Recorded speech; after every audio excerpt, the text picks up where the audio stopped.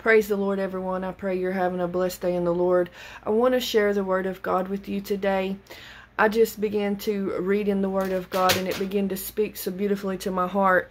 There's scriptures in this Word of God for everything that we need. It is literally a, a light into our, our footsteps. The Word of God is beautiful and it declares things into our life. It speaks to us.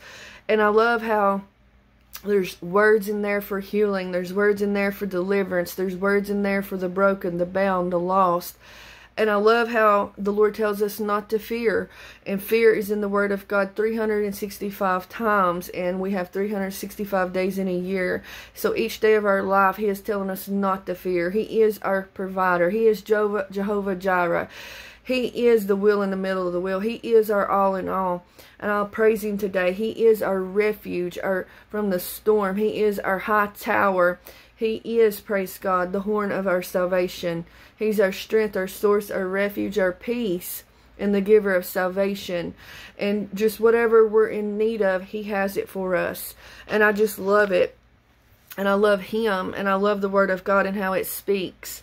I begin to think about healing. Many are in need of healing. And the word of God says in Psalms 30 and 17, David said, Lord my God, I called unto you for help, and you healed me. I love how Jeremiah 30 and 17 says, But I will restore you to health and heal your wounds, declares the Lord.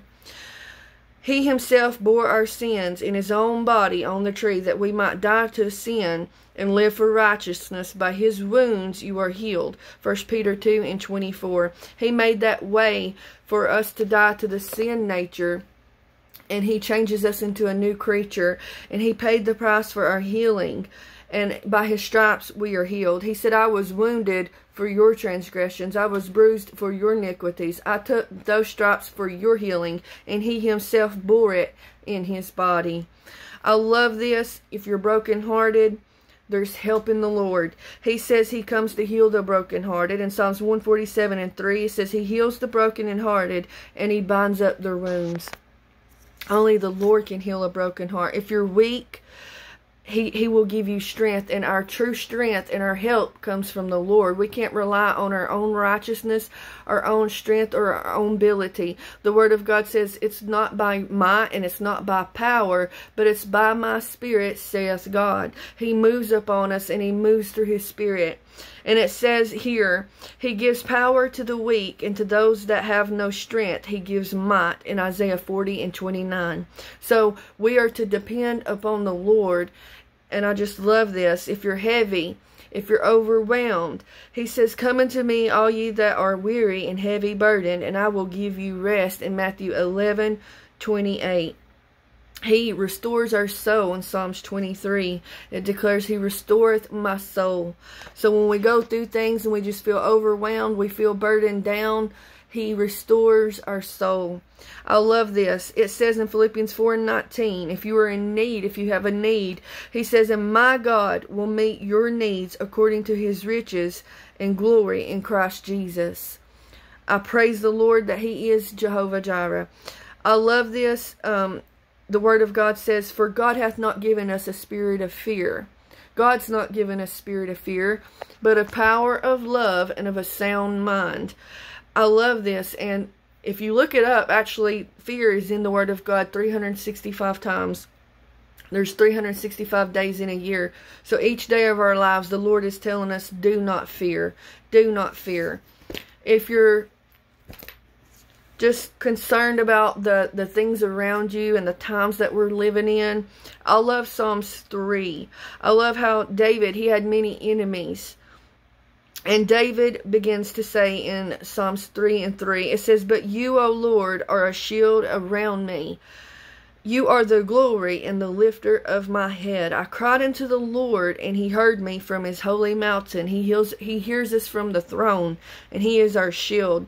It says, I lay down and sleep, and I wake up in safety, for the Lord is watching over me. I am not afraid of ten thousand enemies who surround me on every side. There may be spirits on every side. We, we see anger, we see uh, sickness, we see famine, we see things, but we don't have to fear, for the Lord is watching over us, and He is our shield. And it says, I'm not afraid of 10,000 enemies who surround me on every side. Arise, O Lord, rescue me, my God. Then he begins to declare, May you bless your people. And I love Psalms 103.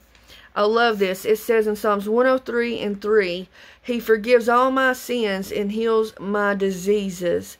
Verse 4, He redeems me from death and crowns me with love and tender mercies. He fills my life with good things good things. Come on, somebody. All good comes from the Lord. And it says, He my youth is renewed like eagles. The Lord gives righteousness and justice to all those who are treated unfairly. And David begins to declare the beautiful things of God. He says in his word, You shall live and not die. You shall declare the works of the Lord. He says, I know the plans that I think towards you, saith God, thoughts of good and not of evil, but to give to you a hope, an expected end. You know, the Lord loves us. He loves people. It's not his will that any should perish, but have everlasting life. And he paid a price at Calvary for whosoever. So I just want to encourage you for whatever you need, you can find it in this Word of God. It is a light into our footsteps and into our paths. It is a foundation. It is a, the Word of God is quick and it's powerful. And we are to trust in His Word and His Word will never fail us. I trust in His Word. When I feel overwhelmed, I just go to this word. When I need a shelter, I just go to this word. I feel his voice speaking to me. I hear his word and it comforts me. And the word of God is a place of refuge. And I just want to encourage you today. God bless you all.